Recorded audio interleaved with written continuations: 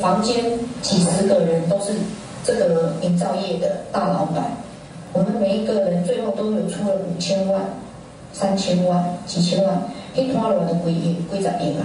徐家清这段阿扁收钱大爆料，成了民进党的团结分化剂，讨伐徐家清相煎何太急的声浪，绿营已经有人画下。我没有办法哈去揣测徐家清讲这个话的动机啊，但是我认为是无视的尘埃。如果还有这样的不当的现金的话，当初为什么没有被查出来呢？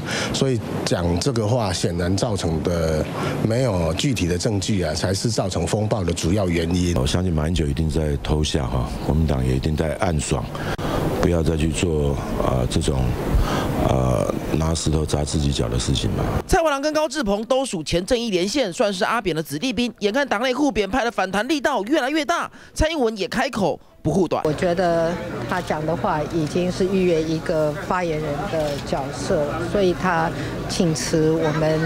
也觉得呃应该要接受。徐家清意外成了自走炮，蔡英文虽然不高兴，但没说重话。为了不让小英为难，声音两天的徐家清在脸书上 Po 文，强调引起这么大的风波，他个人要负起全部的责任，向大家致最深的歉意。当时提到陈前总统政治献金的议题，一时想起多年前的一则政治献金的传闻，就脱口而出。但因为年代久远，记忆并不精确，而且未经查证。对陈前总统造成的困扰跟伤害，在此要向陈前总统表达最诚挚的歉意。为了平息这个风暴，主席如果能去看阿扁总统，你把这个事件呢做个交代。立委呼吁蔡英文直接找陈水扁面对面说清楚。不过小英目前没这样的规划，似乎也不想把事情越弄越复杂。导致特侦组已经有了动作，针对徐家清的爆料分案调查。继二零零八年之后，陈水扁现金案可能再度成了总统大选的绿。营难题。记者台北综合报道。